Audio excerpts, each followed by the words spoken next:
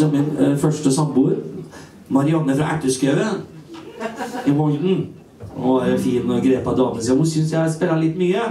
Holdt på litt mye med musikk og greier. da, Så det ble litt mye feilfokus. kan jeg si, Ikke så mye fokus på Osen du skulle hatt det til. Og det, det var jo litt sånn, Jeg var veldig opptatt av musikk og, og skrev mye ting og holdt på. kunne være sånn at Vi satt og så på film, så kunne jeg plutselig bli inspirert. Og da gikk jeg opp og kalle det furterommet.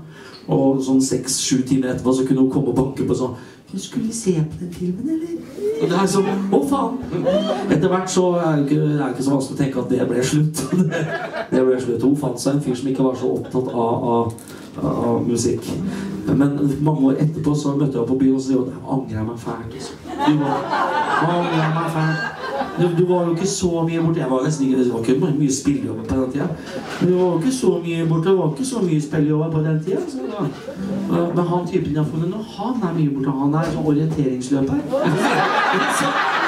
Han som løper. Og det var liksom Det var ikke alt han fant fram veien hjem engang. Mista kompasset og hele pakka sånn her. Uansett. Der er en låt som er som handler om det tveeggede sverdet. Det å Det å, det å være, være glad i den kreative bobla. Goes like.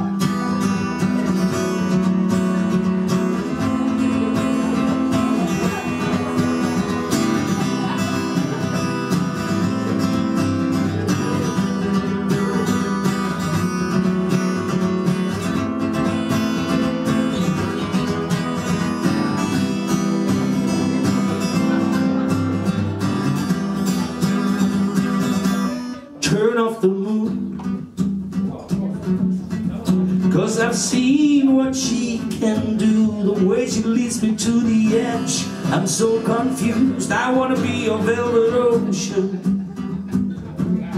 I wanna be a lullaby But she won't cut me loose.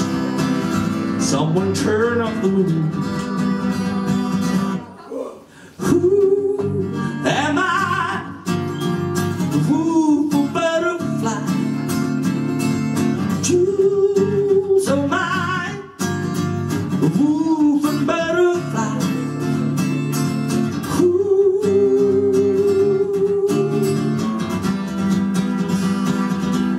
There's no relief. Cause at the last beat of my dream, wherever it appears, I'm on that field, and who am I to play with angels? I only see to make them bleed. If I could, I would turn off that moon.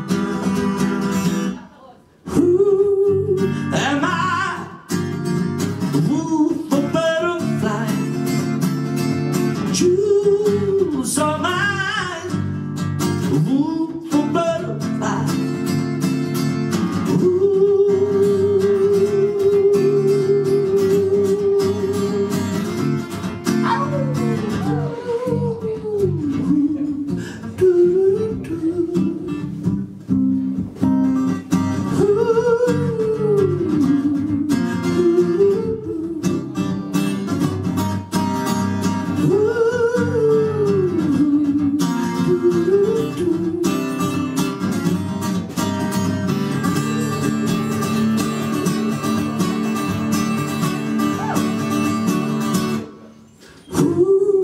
But